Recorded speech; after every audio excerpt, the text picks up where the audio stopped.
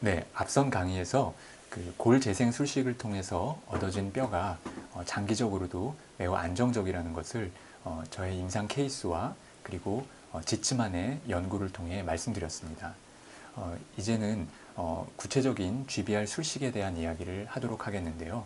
어, 그것에 앞서서 결국 GBR 술식이라고 하는 것은 임플란트 주위에 발생한 본 디펙트에 시행하는 술식으로서 그 defect의 형태에 대해서 잘 인지하고 있는 것은 매우 중요할 것입니다. 여러 가지 분류가 있겠지만 2003년도에 Carlo Tinti가 어, bone defect를 분류하였습니다. 어, 그는 어, healing potential을 기준으로 해서 다섯 개의 defect로 분류를 하였는데 아시다시피 healing potential이 매우 좋은 발치와가 있겠고 그리고 가장 healing potential이 안 좋은 버티칼 리치 디피션시가 있겠습니다.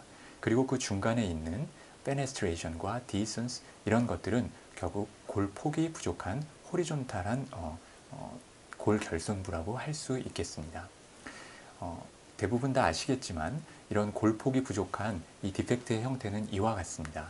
fenestration defect는 어, crestal 쪽에는 노출이 없고 창문 형태로 중간에 어, 임플란트가 노출되는 결손부이고 dehiscence는 상부가 노출된 것입니다. 그리고 실제로 여기서 dehiscence와 horizontal ridge deficiency는 그 형태에 있어서는 동일한 defect이지만 그 defect의 크기의 차이로 둘을 구분한 것인데요.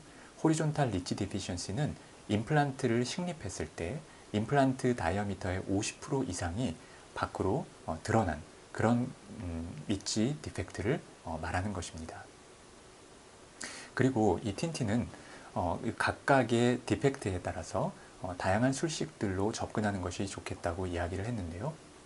결국 이 여러 술식들 가운데 어, GBR과 그리고 block bone graft 그리고 ridge split 등이 있겠습니다. 어, 경우에 따라서 ridge split과 block bone graft도 시행을 하지만 결국 어, 가장 많은 경우에 그리고 어, 또 잘 어, 적용할 수 있는 술식으로 역시 GBR 술식을 들 수 있겠습니다. 어, 그리고 이런 GBR 술식에 대한 여러 가지 정리된 review article들이 많이 있는데요. 그 가운데서 어, 그래도 결론이 잘 정리되어 있는 것이 2009년도에 발표된 바로 이 article입니다. 이것은 EAO consensus를 어, 출판한 것인데요. 거기에 보면 어, 임플란트를 식립하면서 발생한 dehiscence와 fenestration defect를 어, 어, 극복하기 위해서 GBR 술식을 시행했을 때 어, 임상적인 결과를 이야기하고 있습니다. 여기는 총 7개의 결론이 나와 있습니다. 그것을 중심으로 GBR 술식에 대해서 말씀드리도록 하겠습니다. 그런데 첫 번째 결론이 바로 이와 같습니다. 즉, GBR 술식이라는 것이 임플란트의 long-term survival rate와 연관성이 있다는 근거가 없다는 것입니다. 만약에 이 문장을 결국 GBR을 시행하든 시행하지 않든 그것이 임플란트의 서바이벌 레이트에는 어, 아무런 영향을 주지 않는다라고 해석을 한다면 우리는 굳이 GBR 술식을 시행할 필요가 없을 것입니다. 근데 하지만 이 내용을 자세히 살펴보면 그런 이야기를 하는 것은 아닙니다. 어, 이 컨센수스의 이 저자는 다음과 같은 이야기를 하고 있습니다. GBR 술식이 long-term한 임플란트의 survival rate에 영향을 주는지를 명확히 알려면 다음과 같은 연구가 필요한 것입니다. 즉, 둘 다다 다 좁은 ridge가 있습니다. 그곳에 임플란트를 심음으로써 임플란트 주변에 defect가 발생합니다. 그럴 때 한쪽에는 GBR 술식을 시행을 하고 한쪽은 시행하지 않은 채로 그대로 두는 것입니다. 이렇게 해놓고 long-term한 결과를 follow-up 했을 때 그 결과가 어떠한가를 봐야 그 상관성을 알 수가 있습니다. 그러나 여기서도 언급하고 있듯이 그러한 연구는 지금까지는 존재하지 않습니다. 그리고 앞으로도 이런 연구는 존재할 가능성이 없는 것이 이런 연구를 목적으로 해서 이렇게 어, 임플란트를 노출시킨 상태로 그냥 마무리하는 것은 적어도 휴먼 스터디에서는 어렵다고 보입니다. 결국 이 결과를 알기는 어려운 것이죠. 그렇기 때문에 long-term survival rate와의 correlation을 알 수 있는 근거는 사실은 없는 것이 어, 사실입니다. 그렇지만 앞서 Zitzmann의 연구에서도 봤듯이 어, 임플란트를 식립해서 GBR이 필요해서 GBR을 한 경우와 ridge가 충분히 두꺼워서 임플란트를 있는 뼈에만 식립하고 나서 두 개를 long-term하게 봤을 때 적어도 지금 까지 연구에 의하면 14년까지는 그 survival rate에 큰 차이가 없는 것을 어, 이야기하고 있습니다. 결국 GBR 술식이라는 것이 상당히 예지성이 있는 술식이라고 어, 결론 낼, 내릴 수 있겠습니다. 그리고 이 review article에 나와 있는 7가지 결론 중에 2번부터 5번까지는 membrane에 대한 이야기를 하고 있습니다. 그리고 6번에서는 bone graft material에 대한 이야기를 하고 있습니다. 그리고 마지막 7번에서는 또 한 가지 이유에서 어, dehiscence defect와 같은 것이 있을 때 반드시 어, tissue regeneration을 통해서 그것을 덮어줘야 한다는 그런 이유를 이야기하고 있는데 그것은 바로 심미적으로 중요한 전치 부위입니다. 즉, dehiscence defect를 그냥 놓아두었을 때는 그곳에 recession이 발생하거나 아니면은 어, 어둡게 비쳐 보이는 문제가 생기기 때문에 반드시 dehiscence defect에 대해서 처리를 해줘야 된다는 것입니다. 이것은 제가 군 복무 시절에 어, 했던 증례입니다. 동료 군의관이 어, 상악 전치부에 어, 발치 후 즉시 식립을 하였습니다. 그런데 안타깝게도 한쪽은 성공적으로 잘 되었지만 이쪽 부위에 어, 음, 보시는 것처럼 어, 임플란트가 비쳐 보입니다. 어, 그래서 이 부위를 CT graft를 통해서 좀 비쳐 보이지 않도록 해달라고 의뢰를 받았습니다. 어, 이 부위를 열어보았을 때 보시는 바와 같이 이런 defect가 남아 있습니다. 바로 이것이 dehiscence defect죠. 이런 부분에 대해서 어, 적절한 처리를 어, 한다면 그것은 바로 bone graft와 GBR과 함께 그리고 소프트 티슈의 두께를 증강시켜 줄 수 있는 CT 그래프트를 함께 병행한다면 가장 아이디어한 치료가 될 것입니다. 하지만 이 당시에는 CT 그래프트만 시행을 하였습니다. 다행히 어, 소프트 티슈의 두께가 두꺼워지면서 그레이한 에어리어는 어, 없어지게 되었습니다. 네, 하지만 보철을 시행하고 불과 얼마 시간이 지나지 않았을 때 22번 부위에 어, metal이 드러나 보이게 됩니다. 결국 soft tissue recession이 발생한 것이죠. 어, 바로 이런 이유 때문에 dehiscence defect를 그냥 이렇게 두는 것은 어, 올바르지 않다고 그 review article에서 이야기를 하고 있습니다. 이것은 또 다른 증례에서도 볼 수가 있는데요. 이것은 발치 후 즉시는 아니었지만 발치 후 불과 일주일째에 식립한 증례입니다. 젊은 여성 환자분이었는데 보시는 것처럼 이렇게 어, 디펙트가 큽니다. 하지만 어, 임플란트를 식립하면서 어, 이 부분에 대해서 음, 어, GBR과 본그래프트를 시행을 하는 과정에서 어, 제가 자가골만을 사용했습니다. 좀 흡수에 저항할 수 있는 그런 이종골이나 혹은 어, 합성골을 사용했더라면 더 좋았을 증례인데 어, 이 뒷부분에 임플란트 드릴링하는 과정에서 얻어진 자가골이 충분했기 때문에 이곳에 자가골만 어, 이식을 했습니다.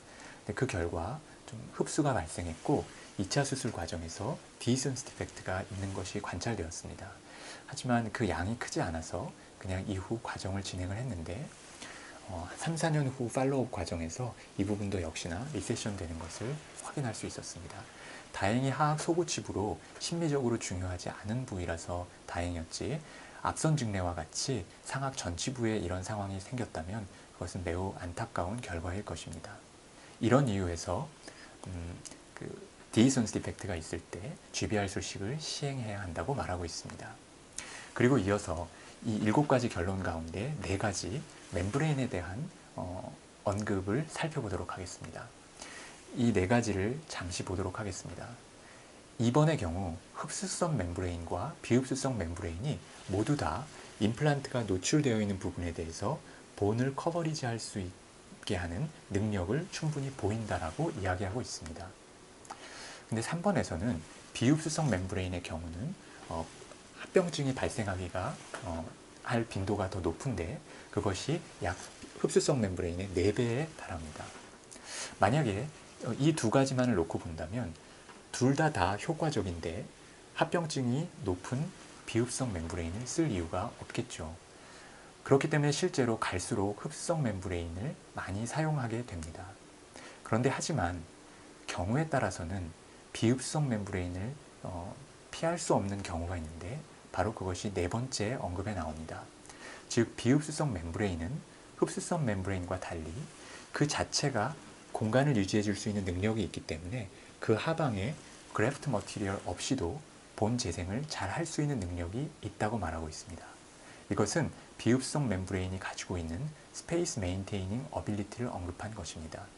결국 어, 합병증 때문에 가급적이면 흡수성을 쓰고 싶고 실제로 그렇게 하고 있지만 어쩔 수 없이 비흡수성 membrane을 써야 하는 증례가 있다는 것입니다.